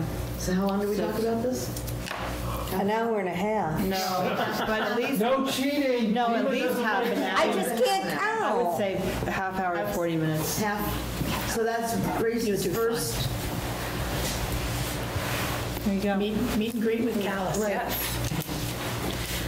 All right, I don't know everybody else. I need to stand up. Go. I think we're, I, uh, I think we're More gonna, oxygen. right. So we want to talk about cannabis resolution. You can stand up and while while Yeah. we talk. Um, so join us. Okay. I'm sorry I didn't get a chance to call you back. It was a That's crazy okay. day. Crazy day, I understand.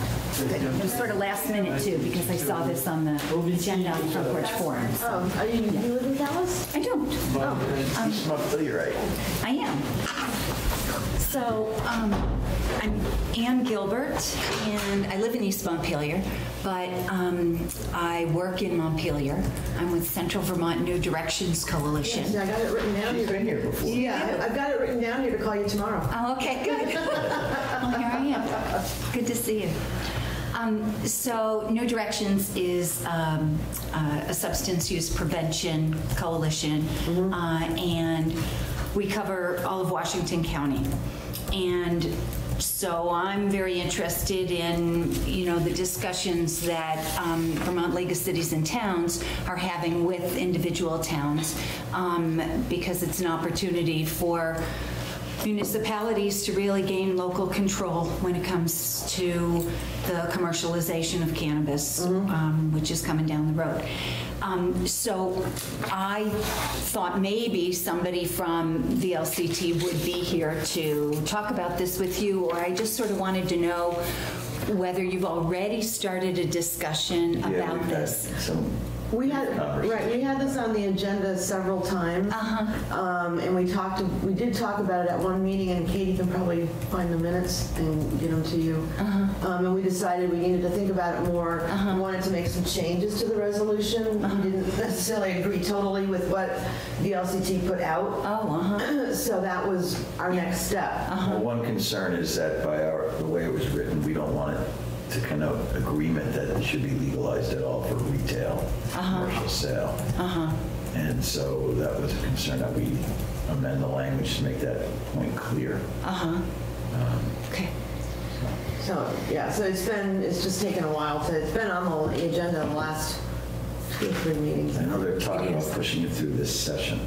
Well, so that's another reason why I'm here is mm-hmm. because it just seems like it's on a, a fast track and it, it would be good for a lot of towns maybe to, you know, have the, you know, to sign the resolution supporting what, you know, the Vermont League of Cities and Towns have, al- has already proposed. So is your Vermont Coalition? Central Vermont New Directions? Are you in favor of the resolution?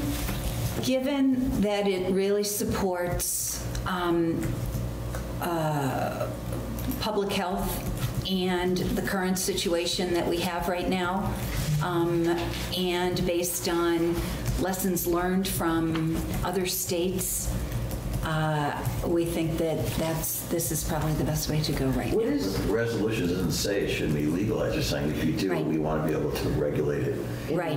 And Basically, give us the authority, you know. give that you the Gildan's authority law thing. and to be able to opt in as opposed to Right. the way it's written right now, which is, okay, this is the way it's going to be for everybody unless you get it together to then Right. opt out. So uh, the opt-in. together.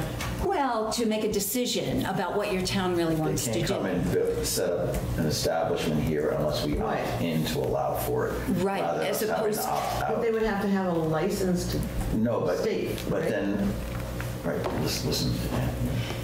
So instead of automatically having it in place, in, you know, throughout the whole state, Calais would be saying, well, no, not, we're- that will not be the case until we actually decide to opt in. And, um, I'm- I guess I'm not opting into what? To allow the sale, commercial, town. retail, and retail Calais. sale in Calais. Okay, but I thought there was Right. legislation. The legislation's, well, we don't know what it's going to say, but the concern is they would just say it's legal for sale everywhere in Vermont. Oh, okay. And then we're obligated to issue a license because it's just like selling Liquor. Coca-Cola or Liquor. or liquor, however they frame it. Okay, I wasn't, I didn't have that. And we decide we don't want to allow that, we want to be a, a dry town for the purposes of this, this drug, then we can do We can that. do that, okay, so, okay, I get it now. I just wasn't clear on that background, how it would work if we didn't do But this. we don't know, and this is also to help them shape the legislation to make sure that that happens. It is. Right, okay. Right. And um, from what I've read today and just doing a little bit of fact finding, East Montpelier um, signed this recently in December.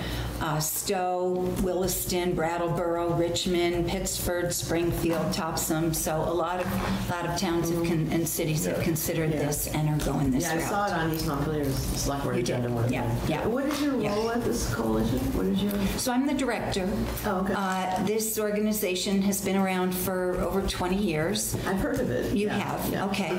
Um, And we're, we used to have more federal uh, grant funding, mostly state funding now. Mm. Right now, there are 12 regions in the state of Vermont which have funding to really promote healthy communities and address substance use. Mm. And we know that the availability, the familiarity, the commercialization of, you know, alcohol, marijuana, tobacco, um, and the decreased perception of harm are all what are driving our youth uh, to have really high numbers of usage compared to the whole country. Our 18 to 25 year olds are at the top of the list in terms of marijuana and cocaine use. And um, so. Cocaine's back, huh? Yes. Our Vermont. Yes. That's the hour. Huh. So we're, um, so this would be one way to, you know, help support putting some um, guidelines in place and giving that local control. Are you, are you, are you guys also working to try to prevent this legislation from passing? Well, we were, we have been concerned over the past number of years. We've looked closely at what Oregon, um, Washington State, and Colorado have done, and, um, you know, it looks like this is on a fast track, um, that it, it, it's not something that I think would be difficult to really be fighting it right now, but we can help shape it, how it's going to work best for each town. Right, it's better to have a voice. Right. Yeah. Yeah. Um, And because, given our current situation, which is that it's already legalized, so we've all there's, there's already that step. Um, But the Yeah, commercialization is a big one. Yeah. And in our organization, we've looked at the big tobacco organizations, you know, Yeah. industry, targeting youth. They have really strong lobbyists. They have a lot of money, and it's caused a lot of, a lot Same of thing harm. with vaping.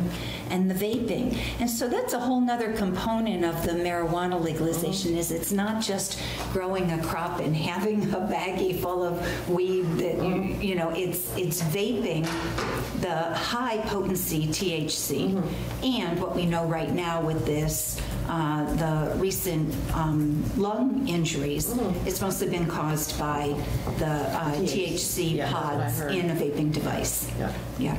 Well, it's because of, the- they think it's because of- they put vitamin E in it for some Vitamin E, yeah, Yeah, there's big something oils. else to add to it. caustic Yeah, effect. yeah, You know, right. Mm-hmm. So, so just so you know, my, my, outside the, the youth implications and public health Mm-hmm. implications generally, my, my concern is that this is seen as a cash cow. Yeah. And that what they always do, like they do with tobacco, they then develop, they, this creates this tax, through taxation, they create this pot of money. Mm-hmm. And you're not gonna put it in the subsidized motor vehicle or paving of roads. They're gonna say, well, where would this best fit? Mm-hmm. And they'll put it into the agency of human services, for mm-hmm. instance. And then that agency's funding mm-hmm. or the availability of funds increases, so then the legislature, which always struggles to fund AHS, mm-hmm. will say, well, we're, we're, we're good here. Mm-hmm. We can defund them, and we can give them less general fund money and wherever else they used to source funds, and they become, they become addicted to this funding source. So then, if and when this becomes a problem, or when the lobbyists say, we need more, we need to do more, we need to do more to expand our business, we are now hooked. Mm-hmm. And there's this powerful lobby in the halls of this state house, which does not need another powerful lobby. Mm-hmm. They can barely function mm-hmm. right now. On pick your issue. Uh, My concern is that they will run that state house. And, you know, it's about losing more voice and more community say over things like this. I I find it really troubling, and the people that are supporting this generally sh- show concern over the presence of big, powerful national lobbying uh, concerns um, seem to like not want to talk about it. And I I just really struggle with it. It's- It's, So I guess we're not ready to sign it tonight because we want to make some changes to the language. Okay. Um, I would suggest then that you, um, you know, i- if you have questions, you can, um, you can call Vermont League of Cities and Towns or get in touch with me. Yep. And, you know, maybe I can help provide some more information on that level, or we can, we could have a meeting about that. Um, Can I leave this with you? Yep. Yes? Okay, good. Yep. And, I have your um, phone number. you have my Now I phone don't have to call you tomorrow. Thank you for coming. I'm you go. sorry again. that's good. I'm glad You're that I looking for people to testify, get us on your distribution list so that So we know. we can get down there. Yeah, that's good. Thank you very much for your support. Appreciate it. Yeah. Thanks for Thanks for coming. Nice to meet you again. I know I've met you before, but The name didn't ring a bell. Okay, good. So, All right. Okay, I'll leave that with you. Thanks, Ann. Thank you, Yep. Ann. All Do we right. have this, do we have a word version of this? Yes, we do. Who gets the meeting record? Yes. Yeah, we sent, I sent this out, we got it from VLCT and I sent it around. Okay. Um, and we're gonna make some changes to it. Yep. Yep. All right, next up, IT. So we um, approved to award the RFP um, contract to RV Tech, and that's all well and good, but then it occurred to me that we did not authorize anyone to sign the contract um, and associated documents, so I'm wondering if there would be a motion for uh, Denise, myself. I would make a motion to have? Cliff sign it. Absolutely. All that work. Please get your Hancock on it. Right. So move. I already moved it, so you're seconding it? Okay, I'm seconding it. Okay, any further discussion? Aye. All those in favor? Aye. Aye. Aye. Thank you. Is that Do in the on- other Is people- that in on IT? Well, just so you know what's going on there is now we will um, notify everyone that this is the decision that's been made. We will move forward in engaging into the new contract as quickly as possible with RB Tech so that we can start saving money. Right, we'll save money per month with this new contract. All right, Great. is that it on IT? That's it. Okay, thank you very much. And thank you again for your work on it. On that, it was huge. We couldn't have done it. Right, huge amount of work and very time consuming, so thank you. No, I think it was a good process. It gave us all opportunity to learn and understand more. And also realize where, you know, we, we had some holes in how we were managing our IT infrastructure. We will be able to do so in a much more informed fashion going forward. Right, because now we have a line item, so we don't run into the problem, we'll be saving up for the And that- server. The amount and that line item will be informed a- on an annual basis. Right, And we can uh, also be more engaged as a board with what's going on Mhm. with our IT needs. and Right. It'll be a process that rolls over year to year. okay, so I sent around um, the appeal that we received from, regarding the Grimaldi decision made by the DRB. Um, Christopher Bachman appealed it to Superior Court, which is the process after the DRB. If they appeal it, it goes to the Superior Court. Um, I sent it around, all the information around to everybody. It's in the folder. Keep- Created a separate folder. Um, uh, The Doc, Dorothy Neal is aware of it, John McCullough, the new zoning administrator, Bob Martin. Um, I sent it to Jim, asking him what his legal advice would be regarding this matter, and he basically said it's a neighbor dispute. And recommended that he just be on the list to receive information and updates in case something comes up that the town cares about. Right. So, right, so he would just be on our, we would just say, yes, please follow this, put our attorney on the certificate of service, because you don't know what's gonna come up. Yeah. Um, So that's the recommendation. I don't know if anybody has any further thoughts on it or comments. Yeah, it is. The neighbor stuff is never fun. Well, that whole situation was. Yeah. So I guess I would make a motion that we authorize our town attorney to follow the matter on our behalf and keep us informed. Second. Okay. Any further discussion? Those in favor, please say aye. Aye. Um, I have a couple of things, and one thing I didn't put on here, because I didn't know at the time what was going on. Um, You know, normally Sandra comes in like this meeting to give us her and her monthly update. Um, Between holidays and the, the timing and Cynthia, who works for Nemrick, who's our auditor because of our charter, hasn't been able to come in and do what she needed to do. So Sandra requested, and I'm throwing this out there because I told her we kind of had things set for February 3rd that we're meeting at, um, February 3rd. She wondered whether she could come in and do her update then. I told her I thought that we were pretty focused on what we were, we were, were gonna be doing then, and that I thought it could wait until we met on the 10th. I agree. But I wanted to see if everybody agreed with that. If anybody's in a big yank for it, we can have her come in on the 3rd. If not, we have her come in on the 10th. There's, she's not, wa- she's not raising a red flag. No. Nope, No. that sounds great. Okay, so, um, so yes, the 10. Thank you. That was my thought. Um, Curtis Pond Greeter Grant. You'll remember we've done that two years in a row at Curtis Pond. Um, They would like to do that again this coming season. There have been some issues in implementing the grants. Um, You know, when you're dealing with some teenagers, they're not always as good about giving you the information they're supposed to. There's been issues with filing reports in a timely manner to close out the grant. Um, So I want us to, I want us to think about it between now and then. It takes quite a bit of staff time to, for the treasurer piece of it. Um, A volunteer is supposed to do the grant administration. Um, And there's been, I mean, I've, I spent last summer quite a bit of time trying to get information and helping to make sure that people did what they were supposed to do um, with regard to their role in the, in this grant.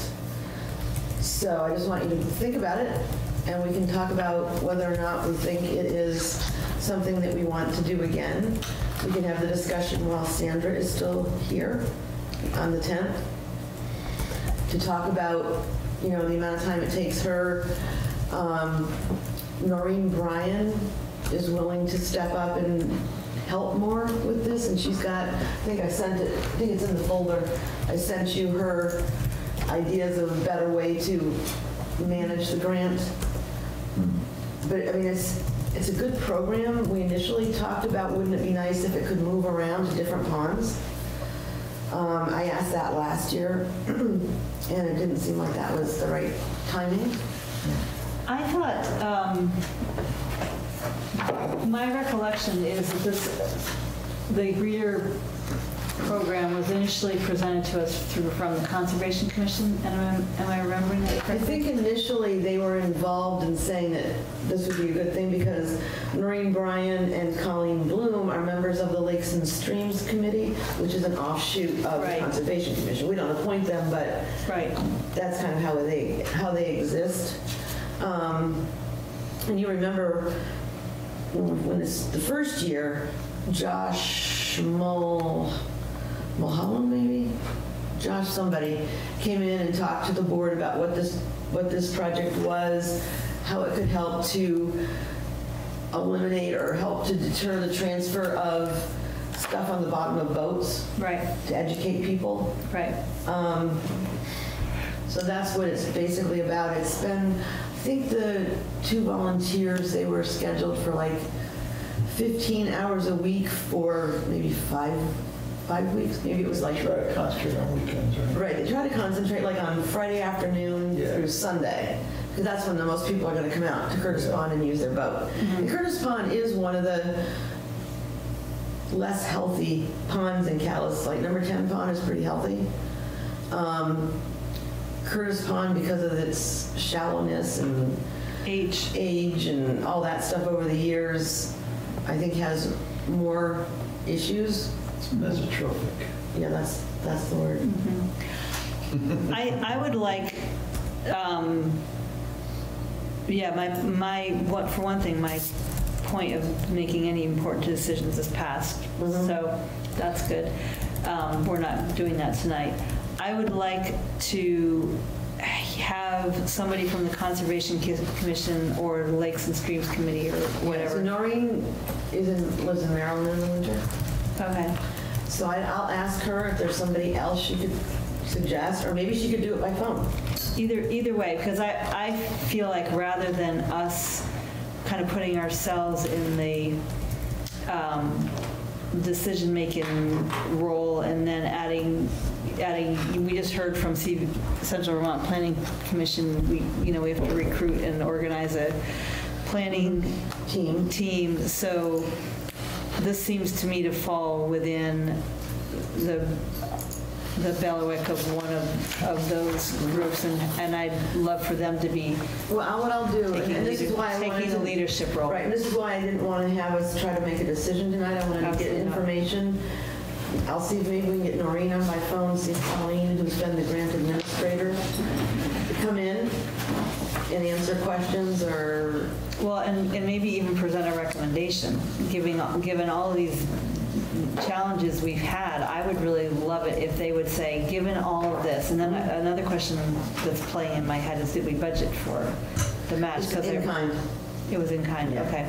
Um, So, yeah, so have, so have them take all of this information, Right. including your input of how much time it took you, and let them And I make a also wanna get- recommendation to us about how it could happen right, and I again. wanted, you know, because when people do these grants, what they think, oh, it's in, it's in kind, it's no big deal, we can do the hours, but what they don't understand, and has been a problem years and years and years, is they don't realize how much time it takes on maybe the treasurer mm-hmm. to keep the records, you know, send the report. Sandra had to fill out a report. Right. Um, This is, shows the, um, the table with the deadlines. Right. So, um, anyways, so maybe I- I'll see, I'm pretty sure I can get Noreen to say she'll be on by phone. She's the one that knows the most about it. She's the one who came up with some ideas to make, because I kept saying, how can we make the process run better so that we don't run into some of the issues we've run into, not so much the first year, but more the second year. Yeah, I I agree with what's being said here, that uh, we need to see effectively a plan that will address the concerns and help us avoid the Mhm. issues that arose last time. Uh, Without that, it's it's just setting up to fail. Yeah. Well, and, and then who's going to be, who's going to be the owner of it? Who's taking the ownership role? Right. Like, Yeah. Yeah. And it's usually, the ownership role Also, we can incur should, liability here, the town can incur some liability, and we don't want to be in that position. no.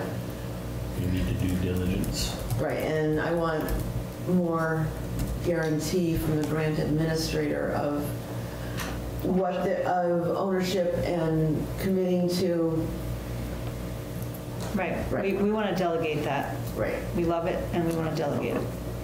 so, right, so there's not more of us trying to help pick up pieces. I agree. Um, all right, Yeah. and that's, that's kind of where I was. I was gonna mention that this Ann Gilbert had called me, but then she showed up, which was great. Um, seems like there was, was there any other business, old business, new business? Seems like I had something I was gonna bring up under other business or old business now, shoot, now I can't remember what it was. Maybe it's because of the time. Yeah. I have a quick question for if we could go into executive session on personnel. I'd make the motion that we go into an executive session for uh, personnel Do discussion. we want to approve any minutes first? Nope.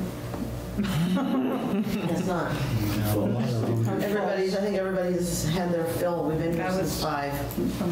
Have- Well, that's why I'm so exhausted. That's why you are, yeah, What is wrong? exactly. We've been Getting here. old, John. I took my Mental exhaustion. butt out of the chair at three and a half hours. Okay. I made a motion. Yeah, I thought we, is there a second? Yes, Yes. second. All those in favor say aye. At 8:55. Thank you.